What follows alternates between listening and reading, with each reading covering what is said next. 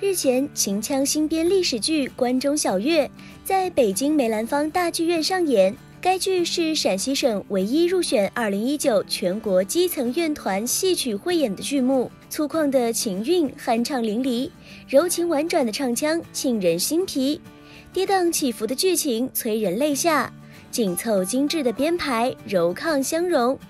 全剧在历史真实的基础上，深刻地展示了在新旧思想更迭之时，一个普通女性扶正文化命脉的心路历程。